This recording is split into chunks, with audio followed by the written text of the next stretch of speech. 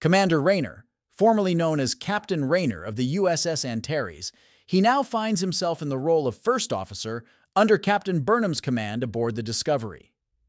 Burnham's directive for him to connect with the crew sets the stage for a fascinating exploration of leadership dynamics and interpersonal relationships within the Star Trek universe.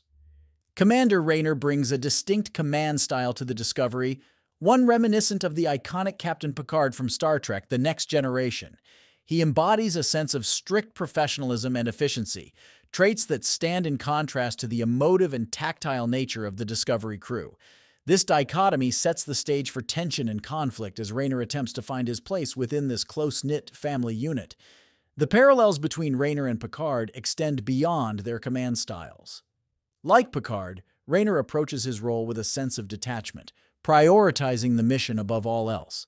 However, beneath this exterior lies a complexity that hints at a deeper emotional journey yet to unfold. As we've seen with Picard and other beloved Star Trek characters, the path to forming meaningful connections with one's crewmates is often a gradual and nuanced process. In exploring Rayner's journey, it's essential to consider the broader context of Star Trek lore.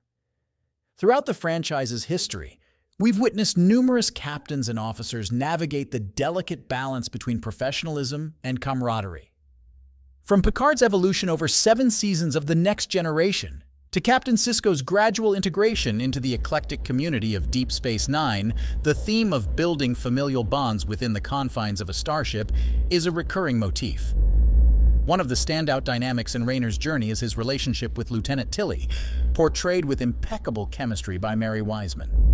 Their one-on-one -on -one interactions provide moments of levity amidst the tension, showcasing the potential for growth and understanding between two vastly different characters. While Tilly may initially struggle to reconcile Rayner's approach with her own values, their interactions serve as catalysts for personal and professional development.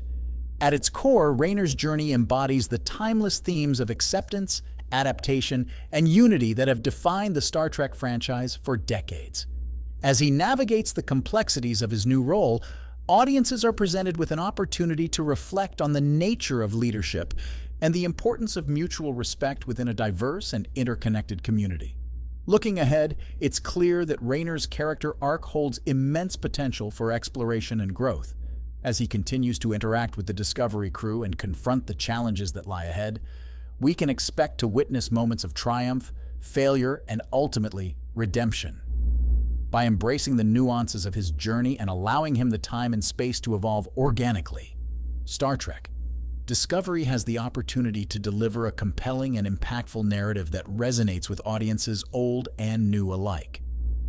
Commander Rayner's journey in Star Trek Discovery Season 5 represents a captivating exploration of leadership, camaraderie, and personal growth within the rich tapestry of the Star Trek universe.